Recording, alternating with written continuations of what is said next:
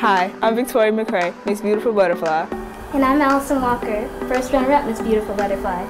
Did you know that May was Lupus Awareness Month? Yeah. Did you know they're also having a 5K walk? Join us on May 5th at Hester Park for our 8th annual Lupus Walk.